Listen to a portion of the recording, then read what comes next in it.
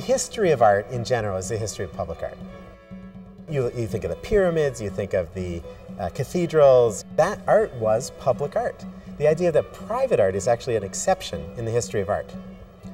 For most of history, being out in public meant seeing public art.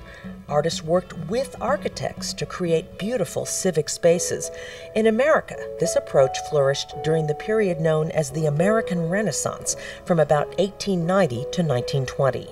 Actually, a great example is the Essex County Courthouse in Newark, which was just recently restored.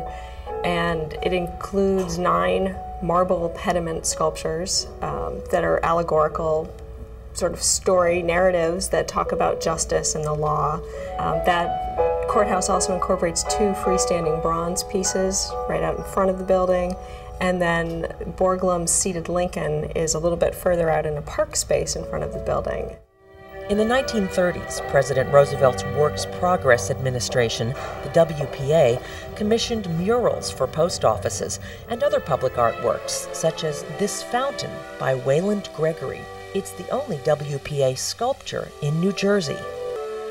These artworks are treasured now, important to our understanding of the 1930s, but not much public art was made in the decades that followed. What happened in America after the Second World War, beginning before, is that people really, a lot of people gave up on public space. The, the move in, the, in America was away out of the public space of the city into the suburbs. There was a shift in style as well to the unadorned international look. Public space became utilitarian and not always so pretty. And then public art was interjected in a way to try to revive an idea of what public space could be. Making the art integral, sometimes even central to the site, means that an artist has to work with architects, electricians, engineers, and go to lots of meetings. Clyde Lynds is an artist very familiar with that process.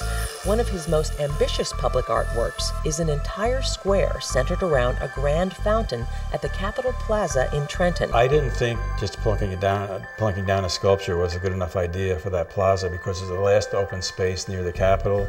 It was a very important space, and I felt that uh, something more needed to be done there. I felt that it needed something broader larger and more impressive